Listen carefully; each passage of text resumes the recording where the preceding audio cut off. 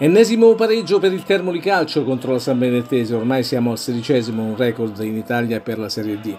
Un nulla di fatto che oggi ha davvero detto poco, soprattutto in fase realizzativa per i giallorossi.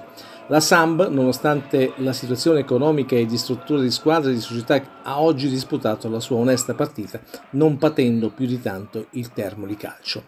E anzi, nel finale ha tentato anche il colpo a sorpresa Scesi in campo agli ordini del signor Scarpati di Formia, il Termoli in maglia a righe verticali giallorosse e la Sambi in completa tenuta bianca. Il Termoli al terzo minuto si presenta al tiro dal limite con uh, Maiorino che dopo una lunga sgroppata tira al limite dell'aria un forte tiro che finisce però alto sulla traversa.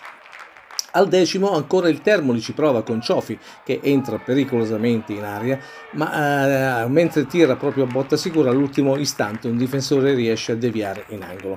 Dopo questo avvio incoraggiante c'è una lunga pausa di riflessione che si interrompe al trentesimo ed è sempre il Termoli che tenta la sortita in, in avanti. Arriva un buon pallone all'interno dell'area di rigore e il Kwanzmi colpisce di testa ma debolmente. E la Samba fino a poco de più della mezz'ora non pervenuta. Si fa viva poi con il nuovo entrato Felix che appena in aria al 32esimo lascia partire un ottimo fendente teso che eh, Lombardo devia in angolo. Al 35 insistono gli ospiti.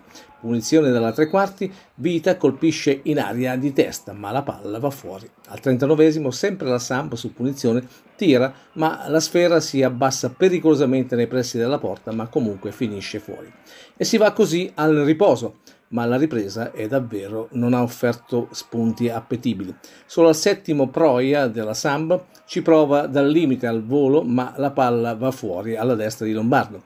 Poi nei minuti di recupero si accende qualche cosa. Il Termoli purtroppo perde per la seconda ammonizione Antezza, mentre Siciliano, ammonito ora diffidato, ed entrambi i giocatori salteranno giovedì l'importantissimo scontro diretto a Monte Giorgio che potrebbe decidere le sorti tra la salvezza diretta e il play-out. Tanto rammarico per il Termoli calcio da questo pareggio, l'ennesimo ottenuto contro la San Benedettese.